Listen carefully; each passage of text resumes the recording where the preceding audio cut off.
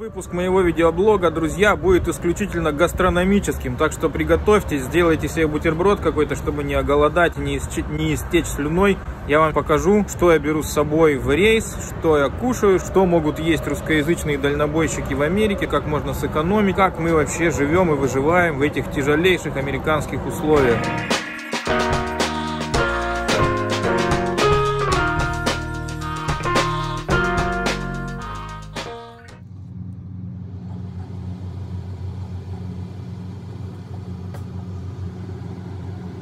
Что, 16 января приходит зима уже, уже обычно к моему дню рождения. Вот сейчас снежок начинает идти, мы на 80-ке на Ohio Turnpike направляемся в сторону Чикаго, в Иллинойс. Около Чикаго, в маленький городок Crest Hill. Может, видите сзади меня, что DOT-инспектор подъехал прямо к заправкам и всех выгоняет. Что там такое происходит, непонятно. Что-то тракисты последнее время попадают в немилость. Шерстят нас как могут. Видимо, тех, кто стоит неправильно около заправки, занимает паркинг, они начинают выгонять. Вот вы видите, сзади кархоллер поехал. Он просто выгоняет тех, кто занимает неправильный паркинг. 80-ка Индиана. Я пошел покушать.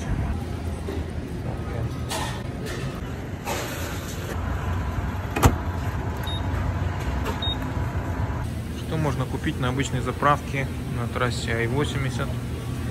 В основном хот-доги и какой-то фастфуд, сэндвичи. Типа Subway, типа Вавы. Ух, супчик куриный горячий. С собой чай, кружечка походная. Такие аппараты стоят. И здесь уже готовый кофе. Где мне найти горячей воды? Все компьютеризировано, друзья мои, уже. Видите, здесь написано swipe for hot water. Alright, вижу. И здесь мы выбираем, какого размера вам кружку нужно и наливаем. Вот, собственно, что я и делаю. Здесь как на всех заправках. Все подряд. Все, что нужно и не нужно. Еда, напитки, мороженое. Даже вон есть что-то для домашних животных. Аптечная полка. Куриный супчик. Вкусно и питательно. Можно питаться по-разному. Все это взял я с собой. Чай тоже я взял с собой. Я набираю кипяточку и делаю себе чаек. Тут можно посмотреть, что делать в Индиане. Не дают снять, нормально ходят постоянно. В 19 на питание трак-драйверам выделялось 65 долларов в день. Что это означает? 65 долларов в день вы могли потратить на питание. Эти деньги вам никто не дает, но когда вы будете платить налоги, эта сумма списывается, сколько дней вы работали, 65 долларов за каждый день, умножаете, получаете сумму, которая отнимается, не знаю, как будет в 2020 году, в 2018 году было 63 доллара, по-моему, в день, в 2019 году с учетом инфляции это было уже 65 долларов в день, поэтому вы можете экономить, вы можете питаться дешевле, вы можете готовить еду сами дома заранее и потом ехать, брать с собой нормально питаться, экономить деньги в неделю, тратить на питание 120 долларов, а не 65. На завтрак были бутерброды с ветчиной и сыром, на обед куриный супчик с лапшой.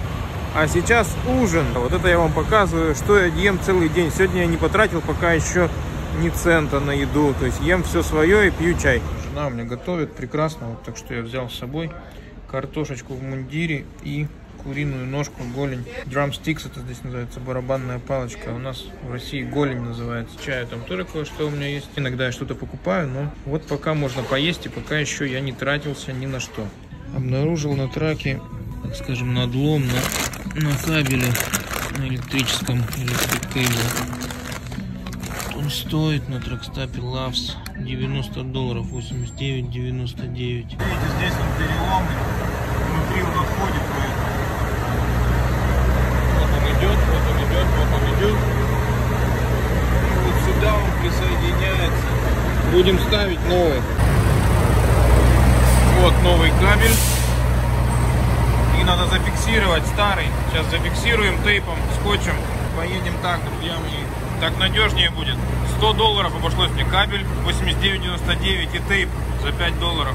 Первый рабочий день трипа закончен. На еду сегодня не потрачено ничего. Ну а так мы с женой закупаемся на 150 долларов в неделю, готовим дома и на неделю, то есть обычно на 5-6 дней я беру еду с собой. Могу сказать, что мы не чипари, которые чипарятся, постоянно ужимаются. То есть чипари это от слова чип, то есть дешево. Я иногда ем где-то, надоедает, мне могу и сосиску съесть, и хот-дог могу съесть, и зайти в Деннис, и зайти в Айхоп, съесть блинчики там с чем-то, то есть для разнообразия. Периодически я ем в разных местах и трачу иногда примерно 15-20 долларов в день, бывает, что-то захочется.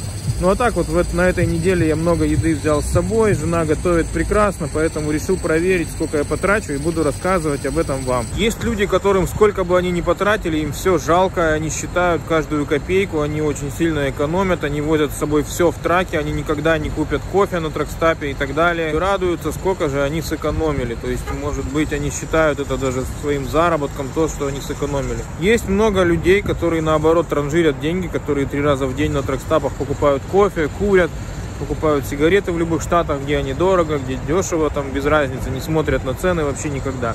Я могу сказать, что все-таки я, мне не нравится ни та, ни та крайность, поэтому, как мы знаем, в любой сфере главная золотая середина, поэтому я ее пытаюсь сейчас найти. Хочу следить за своими тратами, но при этом полностью все считать меня очень сильно напрягает. Я все-таки чувствую себя счастливым, когда я могу не считать каждую копейку, а жить относительно спокойно.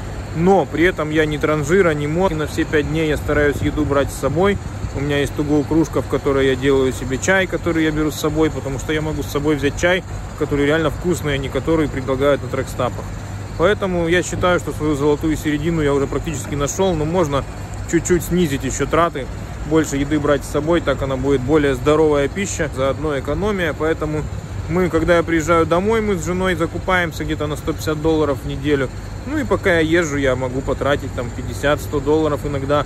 Ну а на этой неделе я решил проверить, сколько я потрачу конкретно. Первый день я отработал сегодня, пока не потратил ничего. Ну а дальше буду показывать вам, что будет происходить. Вкусный выпуск продолжается. В этом выпуске говорим о еде, говорим о питании.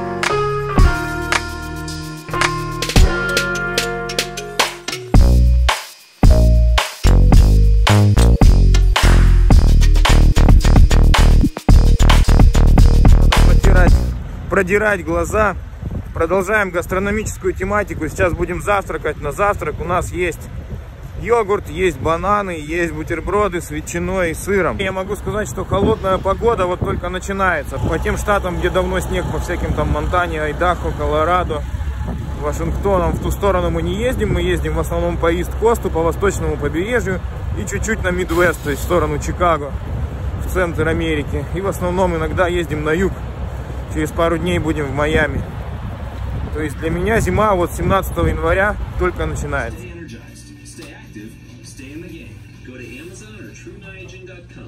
Сегодня с утра чуть-чуть я вам наврал, кроме йогурта и банана, мы еще с напарником рубанули макароны по-флотски. Напарник тоже берет еду с собой в основном. Поэтому пока не потрачено ничего, все возим с собой выпил баночку камбучи, выпил чаю с лимончиком. И все, едем дальше. Это еще пока был только завтрак, еще впереди обед. Сейчас я довезу груз, уже через 80 миль я буду в Балтиморе. В Балтиморе я скину трейлер рядом. Проеду недалеко в город Норт-Ист, Мэриленд. И потом уже будем там отдыхать, уже забирать трейлер. Там будем поздно вечером, уже будет работать дальше мой напарник.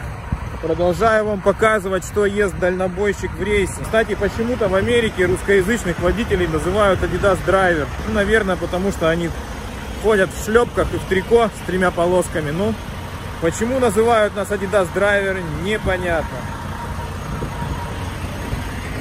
Такой тупняк бывает. Мне уже надо выехать, короче. А выехать не представляется возможным. Потому что такой въезд под углом те, кто выезжают, и те, кто заезжают, короче, не поделили дорогу.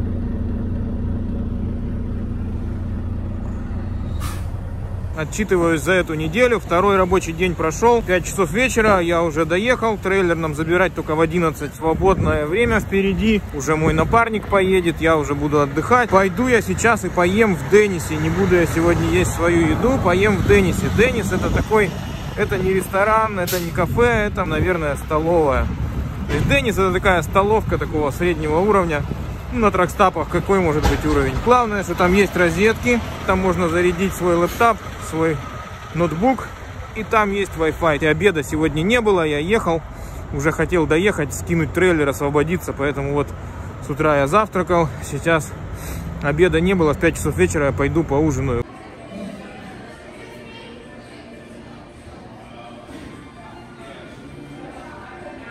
Заказал sirloin стейк в garlic, in garlic, э, в чесноке. Sirloin стейк с чесноком, это 13 долларов. Ну, там, конечно, счет будет больше, я чайку еще попью и на десерт еще что-то съем обязательно. Ну, попробуем какой тут стейк.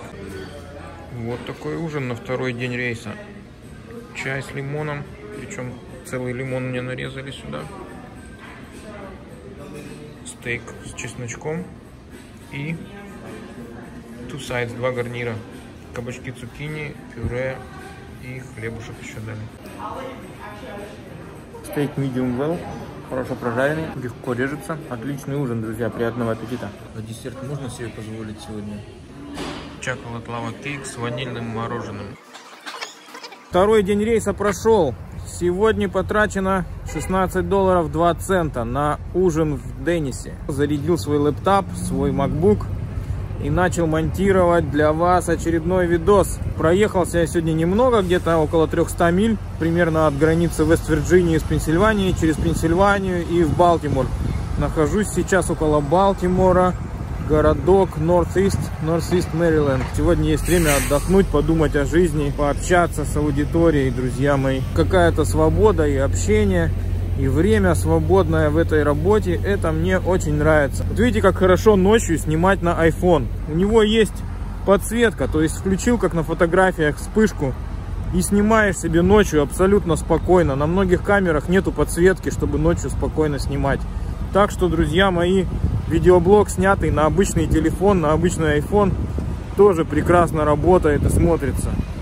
На третий день рейса погода уже изгадилась конкретно температура где-то плюс один и дождь такой, короче, freezing rain.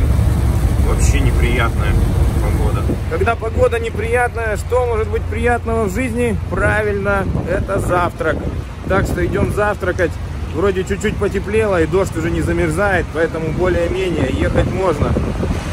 Куриный супчик будет у нас, бутерброды с ветчиной и еще гречка с мясом у напарника. Так что все это мы сейчас будем подъедать. Вот я сейчас вам покажу, что такое freezing rain, замерзающий дождь. Да, вот вы можете увидеть. Видите, он замерзает. Ночью замерзал, сейчас утром уже будет лучше.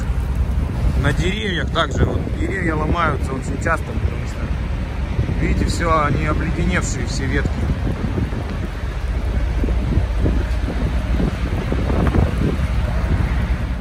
Синабон есть, сладости с синамоном. Вот как выглядит тяжелая жизнь дальнобойщиков. Вот это у нас завтрак, бутерброды, куриный супчик, гречка, чай с лимоном. Сейчас едем в Кентаки, а потом поедем в Майами. Надо уезжать от этой плохой погоды. Приехали в Кентаки, отцепляем трейлер наш.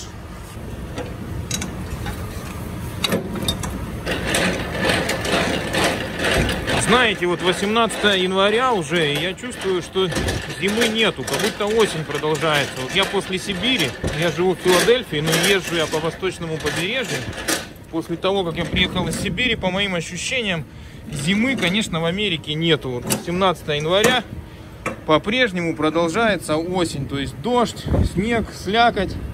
Такого, чтобы лег снежок и все было белое, чтобы был мороз, такого не происходит. С одной стороны это плюс, с другой стороны, если с другой стороны, если нет зимы, то понимаете, весны же тоже тогда нет. Ну, что такое у нас в Сибири весна? Зимой все умирает, полностью все умирает зимой, но весной все воскресает. А здесь, если все не умерло, то и воскресать как бы нечему. В городе оттепель чавкает в лужах серый мартовский снег. Город весною ранний простужен, скрылся венами рек. Все перемолото, скопкано, стоптано слишком долго зимой, но у меня есть ты, ты это дали на бой. Если кто-то пробовал, что такое корн-дог, напишите мне в комментариях, можно рисковать или нет. Третий день рейса, и у меня salmon с макаронами. Лосось по-русски, да? Лосось с макаронами и чай. Приступаем к обеду. Денег сегодня не потрачено. Третий день рейса – обед. Забегаловка называется Hardee's. Я на truck stop е Love's.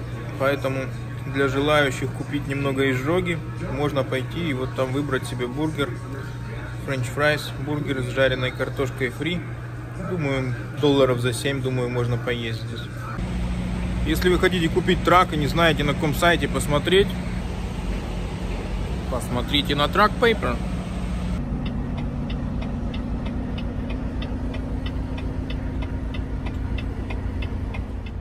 7 часов вечера, охота передохнуть, так что-то уже и что-то съесть. Вот видите, какой лавс прикольный, там спускаться надо вниз. Но это хорошо, чтобы водители могли хоть размяться, пройтись чуть-чуть.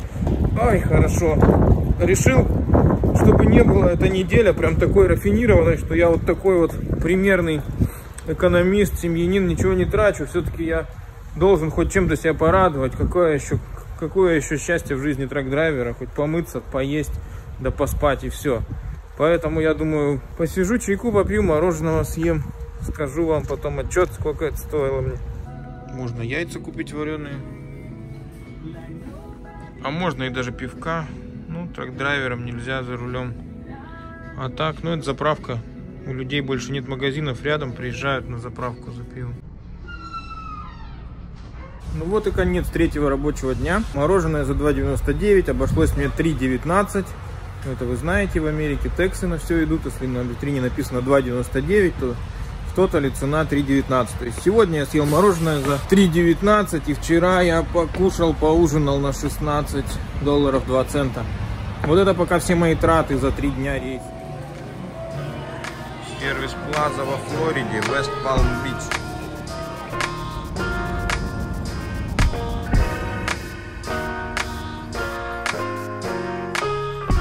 Что мы едим? Четвертый день рейса. Мой напарник прячется, он не хочет быть на видео, не хочет быть замеченным толпой. Нет, это не мой бургер, друзья. Вот я ем йогурт, я попью томатного соку. Еще есть у меня бутербродики, а потом уже будем что-то покупать. Все, погнали дальше. Здесь вообще, короче, супер классно. Один минус. Один минус это летом здесь невыносимо жарко при большой влажности. То есть очень хочется сюда переехать, но вот весна, зима, осень здесь вообще клево, но вот июнь, июль, август вообще будет невыносимо при большой влажности, эта жара переносится очень тяжело. Была бы возможность, так сидишь в любой точке мира, раз щелкнул, ты уже во Флориде, потом раз. Приехали на шашлычок.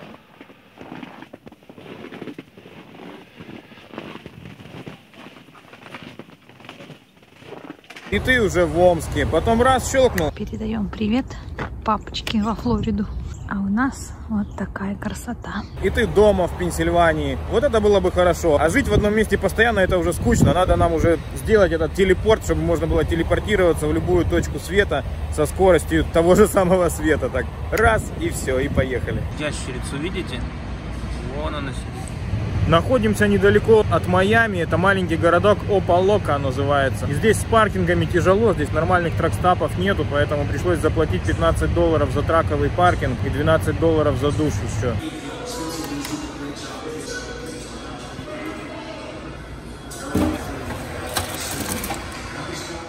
Четвертый день ужин, харчо и чай с печеньем ночь с 4 на 5 рабочий день нам захотелось сильно поесть в Arby's е. Та-дам!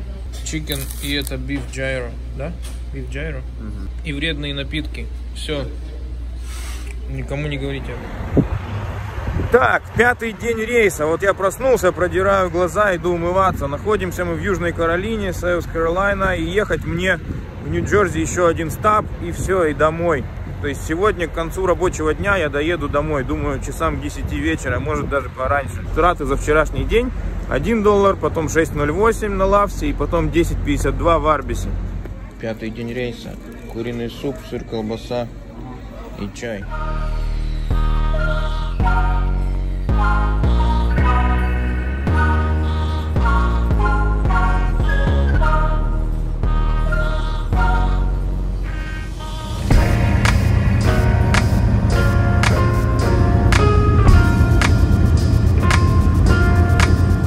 Так, мы с вами наблюдали, как горит рефрижератор, риферный прицеп. Я считаю, что водитель этого трака поступил абсолютно правильно, потому что трак стоял впереди, а горящий прицеп стоял сзади. То есть первым делом он отцепил прицеп, поэтому если вы учитесь в школе, обязательно попросите, чтобы вас научили прицеплять и отцеплять прицепы.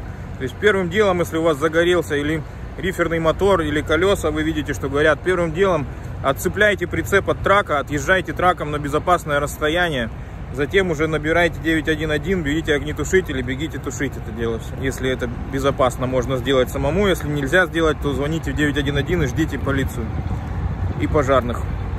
Находимся в глубокой деревне в Вирджинии. Буфет 1250.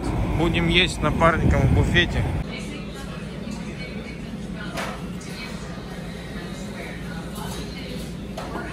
Так, транжиры на этой неделе еще раз зашли в буфет, потому что когда едешь с напарником, все-таки веселее куда-то пойти поесть. Поэтому вот это, это баффет, то есть свободный буфет, где можно набрать все, что угодно, 12.50. А я заказал филе чизстейк за 6.99.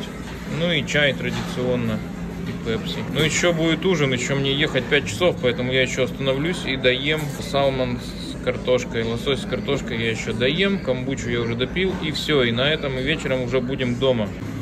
Вот мой филы чизстейк. Но это не традиционный филы чизстейк, потому что здесь и летус, и помидоры. Но тем не менее, неплохо. Транжиры в последний день рейса потратили еще денег. Короче, вместе с типами еще 28 долларов. Поделим это пополам.